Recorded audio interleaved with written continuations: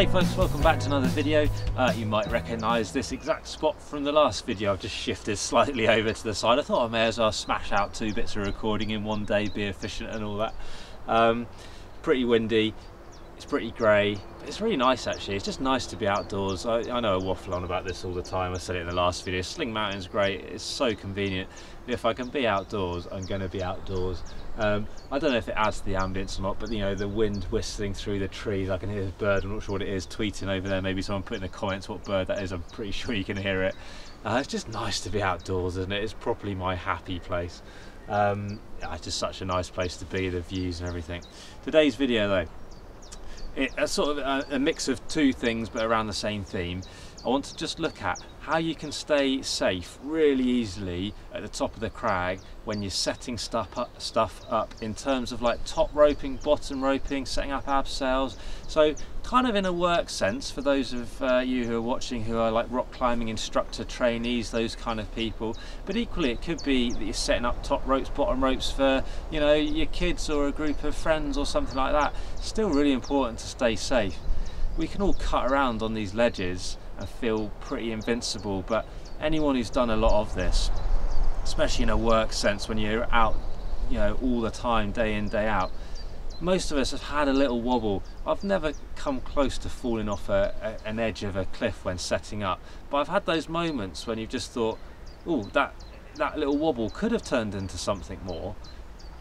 And that happens especially when you're like a new instructor or you're a bit young or you, are going through a cocky phase and you're trying to be quick and rushing because there's some time pressures on these kind of sessions in a work sense a lot of the time. It's not worth skipping that safety element though. In terms of your assessment, if you're going through to your rock climbing instructor assessment, it's such a big deal. As an assessor, you know, provide these courses as an assessor and as every other assessor is as well, we're really on it. We really expect to see you keeping yourself safe whenever you're near an edge. I'm like two meters back from an edge here, so I'm pretty happy cutting around without being attached on. But as soon as I'm near that edge, peering over and all that kind of thing, I want to be clipped into something. And this is where lanyards come into their own really in a work sense, right? I use this one. It's a Kong Slyde and this little plate costs five or six quid. You can get it from Decathlon, I think. I'm sure you can find it on Amazon and other places and stuff. Real simple bit of kit. You add your own rope. I'm pretty sure it says nine millimeters on the instructions for that. It'll tell you the length, but it's probably like one and a half meters, two meters. You'd have to have a bit of a play. Uh, and you put a little barrel knot in one end that just stops it slipping through if it was to slip under weight uh, and you just you put a figure of eight you take that out each time to make sure it doesn't get any wear and stuff you can inspect it properly. Uh, so I'm going to just tie into that as you would with the rope. There's loads of other lanyards out there. Uh, the Petzl Connect ones are really nice. They're a bit more money. They're more like 35 pounds. I'll put a link to these things below. They are really nice to use. I've just never quite felt the need to upgrade from this because it kind of works all right, but it is a nicer bit of kit. It just adjusts more smoothly. So for me, figure of eight, it's going through the top and bottom loops in this one uh, with this bit of kit. Read the instructions for the particular lanyard that you end up going for. I tie it in and then I do my little Yosemite finish with an extra wrap just to keep it nice and neat and stuff. So in a work sense, certainly in an RCI type work sense, this is just part of my kit that goes on at the beginning of the session. Harness, helmet, I know I'm not wearing one, but I would for a work sense when I'm cutting around, there's people around and stuff, feel pretty happy here.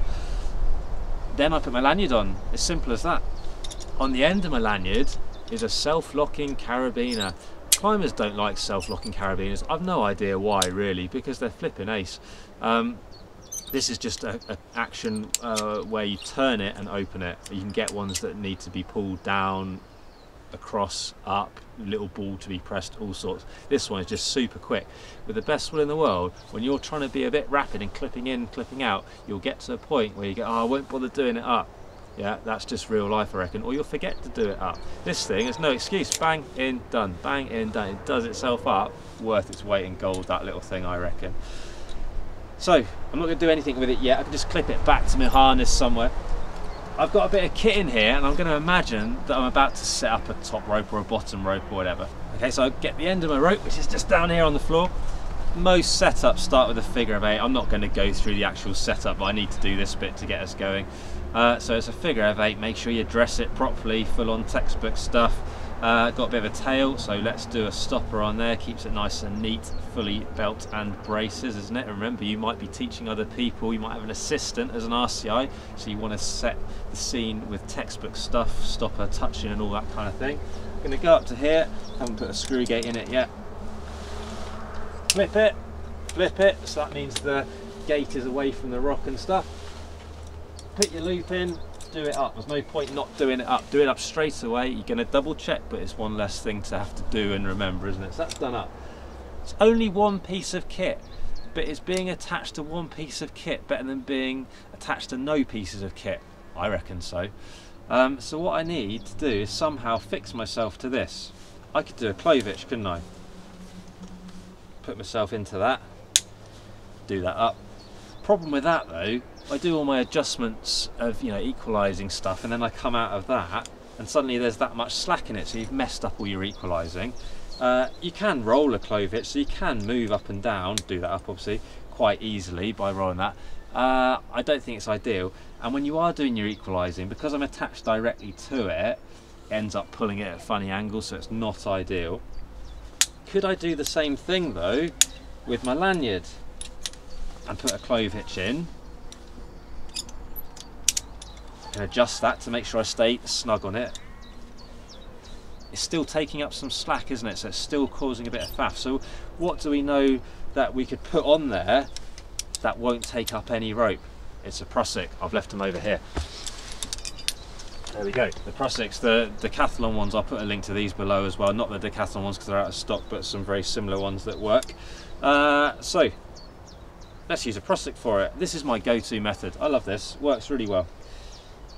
I'm going to use a klemheist. It's pretty grippy. We don't need it to release under load or anything like that. We're not jumping off edges or anything. We're just cutting around at the top of a crag.